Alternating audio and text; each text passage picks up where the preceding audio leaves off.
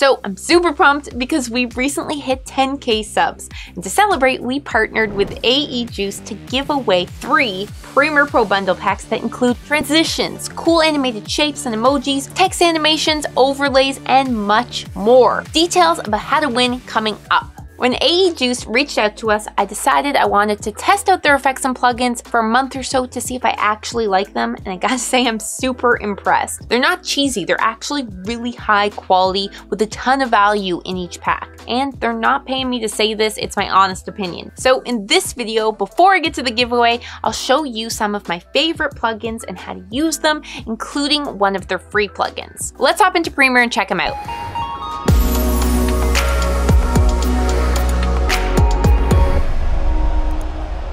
Once you install your AE Juice pack, go up to Window, Extensions, AE Pack Manager 3, and a panel will open up with whichever packs you've downloaded. We have these two snowboarding clips here, and I want the first clip to transition into the wide shot in a more visually interesting way. If you've ever tried to make your own transition effects in Premiere Pro, it can be quite time consuming and even complicated. In the Seamless Transitions pack here, there are tons of already made transitions to choose choose from. I like this scale out one, so I'll import it and here it is on our timeline. We'll move it over so that the ending of the first transition lines up with the ending of the first clip, like so. And this transition even has a sound effect with it.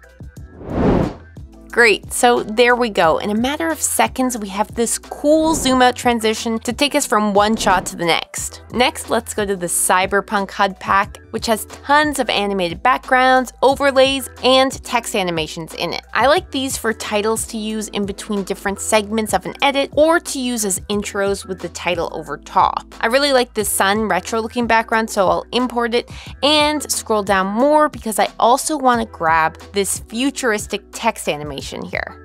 So I'll turn the text animation off for a sec, and this is what our sun background looks like. I already love the look of it, but we can customize it by making sure it's selected and going to our essential graphics panel. So I'll double click on the light color to change it to more of a purpley color like so. I'll also change the background color to, to a blue. Okay, I'm liking that. And now let's turn the text animation back on so we can customize it as well. I'll delete these and change the text so it says create in all capital letters.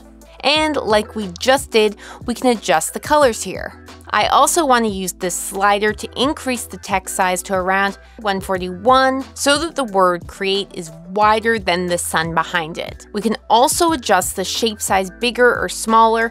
I don't like this shape at all, so I'm going to bring the size down to zero so we can't see it. And let's check this out. Nice, okay, it's looking good, but could definitely use a sound effect with it. So let's open up the sound effect pro pack here.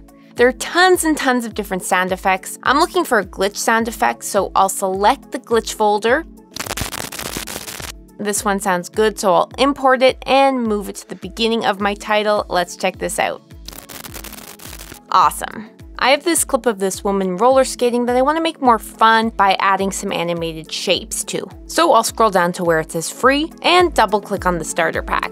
I love that you can scrub over the thumbnails to see what they'll look like before importing them. I like Firework 1 so I'll select it and click on import which has brought this element on the V2 track on my timeline where my playhead is. I want to move this element over more so it's not sitting over top of the woman on screen. So I'll go up to effect controls and adjust the position. Okay, I like that. And I want to add a few more shape animations throughout this shot. Circle 17 here is looking good. I'll drag it to the beginning of this clip. I think it'd look cool to have a second one of these circles pop up on screen. So with my circle element selected, I'll hold down Alt or Option on my keyboard, drag up, and now I have a duplicate of it, which I'll adjust the position of so that these two circles are more scattered and sort of show up one after another. And I'm gonna move the second circle over a bit. Okay, I'm liking that. So I'm gonna add a few more shape elements over top of this clip, and since you get the idea, I'm gonna speed up this part of the video. Now, all of the free elements I've worked with so far are MOV files, which makes it really easy to just drag and drop them where you want them on screen. In this free pack, we also have some motion graphics, which make it really easy for you to customize. So I'll import this Firespark motion graphic here, And to customize this, we need the Essential Graphics panel. Mine is not showing, so I'll go up to Window and select Essential Graphics. Okay, there it is. And I can click on the fill color to change it. We could also increase or decrease the size of the stroke. I'm going to bring it down to zero. One thing that's really cool about these motion graphics is that you can turn glow on if you want to by check marking this box here and you can increase or decrease the glow radius and intensity using these sliders and even change the glow color by double clicking on the fill box and picking a different color. So for this clip, I'm not feeling the glow, but using glow can work really well if you want to give your clip like a superhero feel. I'll adjust the rotation of this element a bit. Nice, okay, so I like this motion graphic. I like that it's a little more abstract looking than the other shape elements I have on screen. So I'm gonna duplicate it and move this duplicate over a little bit, and let's check this out.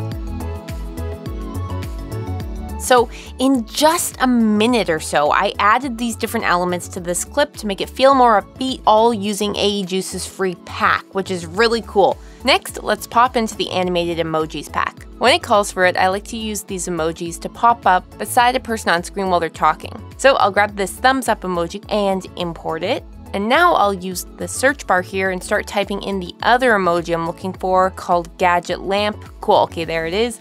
You can select them on your timeline, adjust the size and position of them, and place them throughout your video wherever you'd like. Okay, so there you go. Those are a few of my favorite plugins. And now let's get to how you can win the Premiere Pro Bundle Pack. In order to enter for a chance to win one of three bundles, all you have to do is subscribe or already be subscribed to both our channel and AE Juice's channel, link in the description, and comment below letting us know how this bundle can make your videos better. Don't forget to leave your Instagram handle in your comments so that we can DM you if you win. And that's it. That's how you enter. We'll be picking winners this week. So good luck. Thanks for checking this video out and we'll see you in another one.